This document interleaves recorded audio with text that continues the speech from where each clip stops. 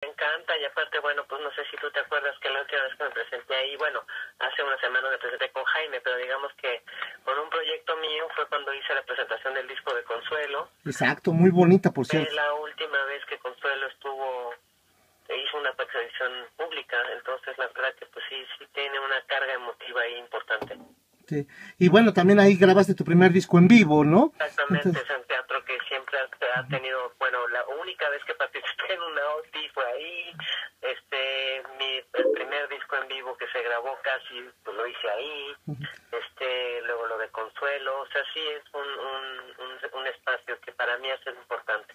Pues, y, estoy súper contento. qué bueno, y, y que bien cabe ahí hacer unas crónicas, ¿no? Unas, unas crónicas acústicas, creo que así le estás llamando a este recital que vas a armar. concierto cronoacústico puse porque es una cronología. Digamos que mi idea, Chava, fue, bueno, el teatro está organizando una serie de conciertos acústicos, como pudiste darte cuenta con lo de Jaime y con lo de Héctor Infanzón y demás. Entonces, bueno, a mí me invitaron a formar parte de esta serie de conciertos y un poco la idea del teatro era que fuera una cuestión acústica. Entonces, pues me puse a pensar que como que se me antojaba hacer y tomé la decisión de hacer una especie de cronología autoral sobre todo. Entonces, este, pues eso es lo que voy a hacer. Voy a tener invitados a Pepe, a Jaime, a José Manuel. Eh, bueno, Consuelo pues estará su música. Este, y le estoy armándolo de alguna manera un poquito más acústico. Este, de alguna manera mi concierto últimamente ha sido más acústico, de acoso textual. Este, y bueno, eso. Entonces, la verdad, estoy. Sí, oye, y me llama la atención, pues, este, ¿llegarás a interpretar algo de lo que hacías con la nopalera o, o no habrá ninguna, mm, un esbozo por ahí de eso?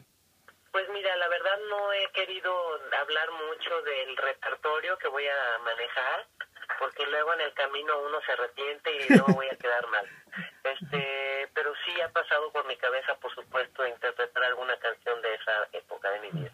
Oye, Ceci, también me da gusto de que, pues, además de que vas a hacer esta crónica, ya haces un repaso, vaya, ya son 30 años de, de historia musical, pero eh, eh, sigues activa, ¿no? Sigues produciendo, sigues haciendo cosas nuevas. Así es, Chava, ahorita estoy grabando, ya estoy bastante avanzada con mi disco que es nuevo, este que saldrá definitivamente este año. Qué bueno. Entonces, la verdad estoy súper contenta, estoy trabajando en la ahora voy al Festival de Tamaulipas, al Festival de Jazz, tengo dos presentaciones allá, entonces la verdad sí ando, ando movidita. Qué, qué bien. Oye, ¿y este disco está a la mitad de la grabación o lo, sí, lo, sí lo estás haciendo en partes, me imagino, por tanta chamba? Mitad, ¿Perdón? Por tanta chamba que hay, me imagino que sí lo estás haciendo en partes, ¿no? Pues sí, hemos tenido que, de hecho ahorita llevamos dos semanas en que no nos hemos podido ver el chavo con el que estoy trabajando y yo, pues pues sí, porque ahorita la entrada de la novela ha sido muy demandante de tiempo, este, pero bueno, poco a poco nos iremos organizando para, para poderlo terminar. Te digo, ya estamos bastante, bastante avanzados. Y musicalmente, ¿qué textura lleva este nuevo trabajo, Ceci? Pues mira, yo estoy muy contenta con este chavo, este compositor, que es un chavo súper talentoso, eh, que me sorprende cada día. Eh, sus letras, me encanta su musicalidad, eh, su trabajo armónico, sus melodías. O sea, realmente, pues mira, yo ya no quiero ponerle este título ni enmarcarlo en un solo género. Yo creo que son canciones, canciones muy bien hechas y lo mejor que me da el alma y la vida para interpretar.